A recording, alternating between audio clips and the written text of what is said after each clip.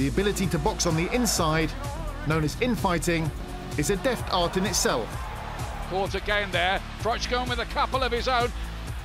Tries to bully Ward, but Ward's having none of that at all. Holding, leaning on, pushing off, neutralising an opponent, and working inside is more than just a test of physical strength that it appears.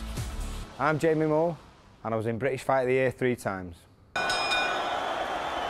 Infighting is um, you know, it's an art in itself. And first of all, you, you, you've got to start from, you know, from the outside, and you've got to get on the inside of the shots. And then as soon as you close that distance down, boom, boom, boom, you can start getting the little shots off. So from this stage, you can whip them up, boom, whip them down.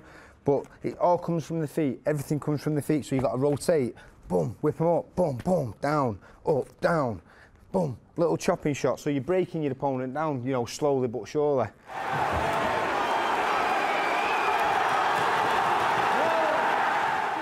You've got to think about angles, you know, you can pull the elbow, bump, little shots, bump, or you can whip them up the middle, bump, bump. But you've got to stay relaxed. If you tense on the inside, you're going to get dragged about and you're going to get, you know, jolted. So if you can get those little shots off on the inside, boom, boom, boom, boom. See, a good body puncher has also got to be a good infighter.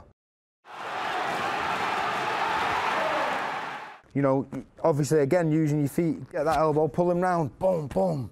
So they're off balance. So they can't hit you, but you can get your shots off. Then come back down the middle, boom, whip their head up, boom, boom, downstairs, up, up. And it's about being persistent and breaking your opponent down.